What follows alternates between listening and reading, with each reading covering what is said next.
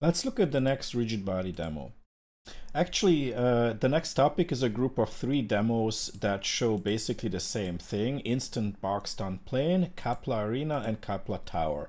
All of these three show uh, how to use point instancers, and uh, probably the Kapla Tower is the coolest one, so I'm just going to start with that. Skip the other two.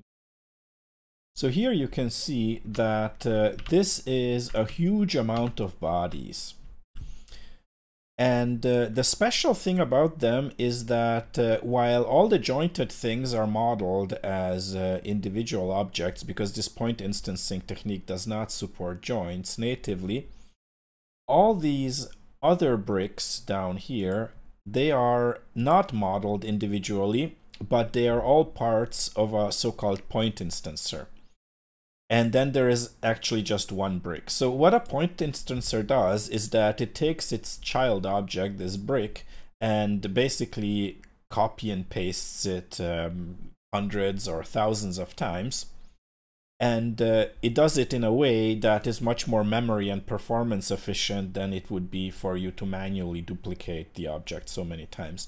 Now, unfortunately, point instancers, when you click them, you can see they cannot be edited in the UX efficiently. So I know I said that you don't need to worry about the Python code. In this particular case, uh, uh it does um, need to be set up using programming to create the USD asset because we currently don't have an easy way to edit uh, point instancers in the UI. I can still show you, however, the performance gain you can get from this. So if I press play, you can see that the whole thing starts collapsing under its own weight, but I still get like 50 frames per second despite everything uh, simulating and uh, coming down and collapsing. And uh, this is uh, this is all interactive stuff, so I can now pull out this brick right here until uh, until this tower also collapses.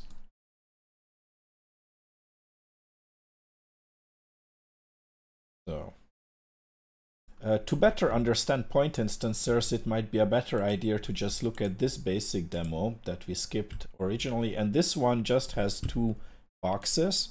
So again, the same idea, a point instancer with a child box. But here you can see that basically the angular velocities are stored here in an array, the orientations are an array, the positions are an array. So because there's two objects here, the positions are an array of two, three vectors.